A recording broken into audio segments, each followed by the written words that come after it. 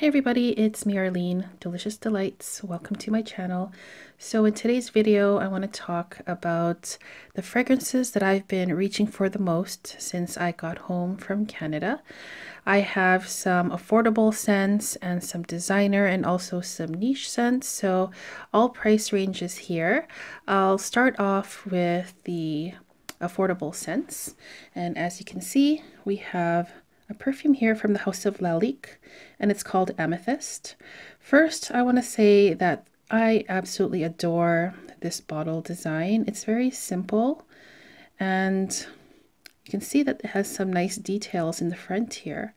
Um, so yeah, I picked this one up for about 30 euros at my local TK Maxx. I haven't had it for very long, but there is quite a big dent in this one. The reason why is because this one is very easy to wear. It is basically a fruity berry scent. It is not jammy though, it is very transparent and watery.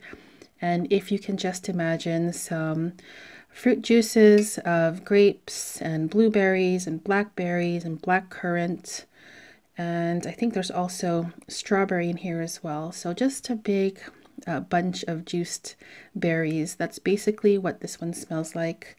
I also spray this on my bed sheets because it just gives off a very nice, soft, fruity, transparent scent that is very versatile easy to wear, affordable, and then we have this gorgeous heavy glass bottle that um, just looks very classy and elegant, just sitting in my collection. So that's Amethyst from the House of Lalique.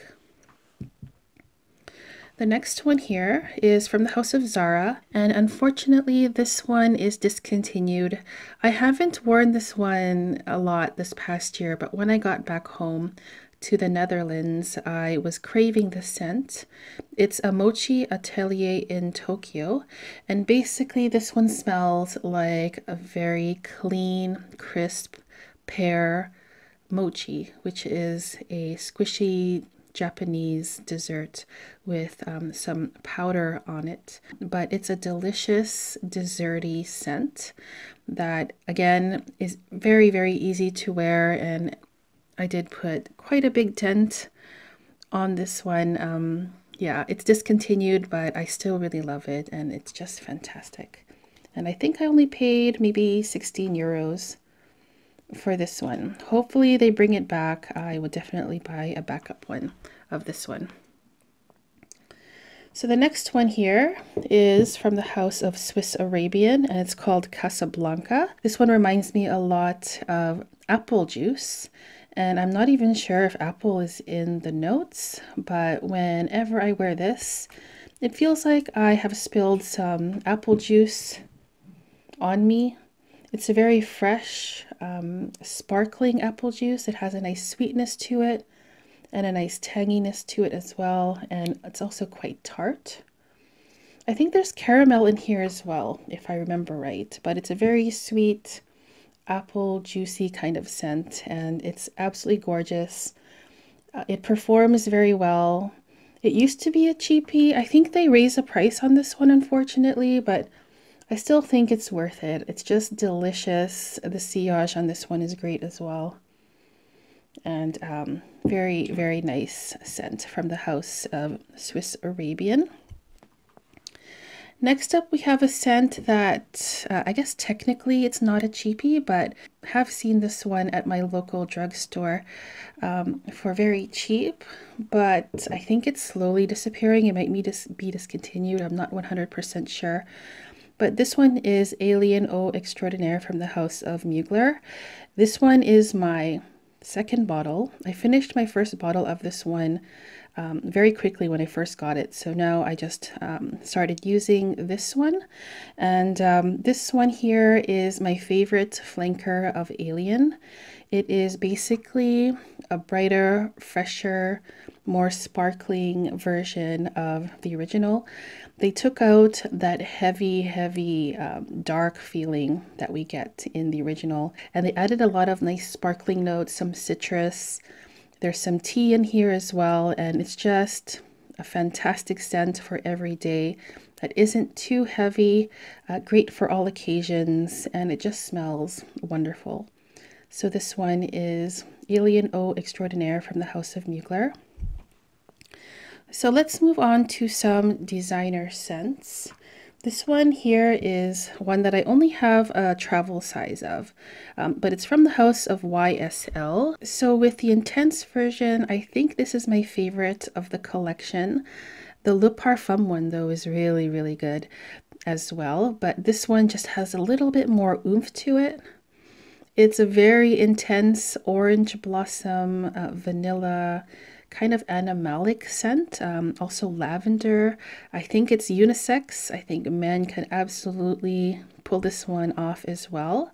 Uh, but yeah, it's such a sexy scent that is so bold and intense. Uh, performance on this one is also really good as well. So after I finish this little travel size, I would probably uh, get a bottle of it because I think the bottle designs of this collection are beautiful. Coming up, we have a scent from the House of Chanel, and this is Chanel Chance Eau Fraîche. And this one I haven't had for very long, but when I was away, I was craving this scent a lot. Um, it's basically a nice a citrusy, musky scent um, with a little bit of green in it. When I've worn this lately, I was actually reminded of CK1 a little. Every time I sprayed it on, I was like, hmm, that kind of reminds me of CK1. And um, I didn't have that before, so I'm not sure if my nose is changing or I'm just picking up different notes. But CK1 has a nice, clean, musky, citrusy uh, feeling to it. And I definitely get that same feeling in this one here, although they're definitely not the same. They just kind of remind me of each other now. So this one is Chanel Chance Eau Fraîche. Okay, so now let's move on to some niche perfumes. I want to talk about this one here. This one is very new in my collection. I actually own the old version, you know, the one with the, um, the round ball, uh, but this is the new bottle design of it. And it's I don't need a prince by my side to be a princess, but we can just call it princess from the House of Kilian. This one is very, very popular in Fragcom, and um, I absolutely love this scent. It is basically a squishy, sweet vanilla marshmallow perfume. There's also some green tea in here, and I believe there's also some ginger. So it's not just your typical literal marshmallow. There's some other things going on with the spiciness. Uh, it's a bit milky too, and a little bit powdery, and it's just such a fantastic, unique scent that is mouth-watering and so so pleasant and I absolutely love uh, the sillage that I get with this one it smells really really nice and um, it just kind of is a comforting scent for me so that's Princess from Kilian the next scent here is actually a discontinued perfume. I have been craving this one a lot when I was away. And this is a Tonka scent, Amande Tonka, from the house of Elie Saab. It has a nice little engraved um, logo there. And this is one of my all-time favorite Tonka perfumes. Um, Tonka is a note that is probably one of my most favorite notes of all time. And this one here is so, so beautiful. It is basically, obviously, uh, a nutty almond and a tonka scent. Um, it's not too sweet. There's also this mysterious dark feeling to it. And it just gives off a sexy, not too strong, a sweet almond and tonka scent uh, with some nice uh, dark woods in here. And I'm not sure if I already said, but I also get a nice smokiness out of here, but it's not too smoky. Uh, it's just a subtle, sweet, uh, smoky scent. I adore this one so, so much, and I'm disappointed that it is discontinued. All right, so next up we have a scent from Tom Ford. I just have um, a travel size of it here. This is Tom Ford Bitter Peach. Love the little uh, travel vial here atomizer. It's magnetic. so this one is bitter peach and this one basically to me is uh, a juicy peach, but it also has a very uh, earthy patchouli scent to it as well. So it is quite dark and heavy and strong. Um, but I just love that juicy, super juicy peach note in here that is kind of dirty, like a dirty peach, uh, but it's so mouth-watering and so realistic. And I just love this one, especially when it's starting to get colder outside, which it is now where I am. So yeah, Tom Ford Bitter Peach uh, kind of an underdog, I think, in the collection. It doesn't really get the attention I think that it deserves. I think Lost Cherry gets uh, most of the attention when it comes to um, their fruity scents. Uh, but yeah, Tom Ford Bitter Peach, um, one of my favorites from the entire house. And next up here, I only have a small little decant of it here but I have been in love with this scent, you guys, for the past uh, month or so. This one is called Blanche Bête from the Liquides Imaginaires. I have talked about the scent. Um, the video was called It's a Love at First Sniff. It was one of my most uh, favorite discoveries, niche discoveries of the year. And um, this is a 10 ml decant that I was able to find. Um, so yeah, I've been wearing this one lately just before bed, one spray, and then I get this gorgeous, soft, milky, powdery white chocolate scent, um, kind of coconutty as well, without being that tropical.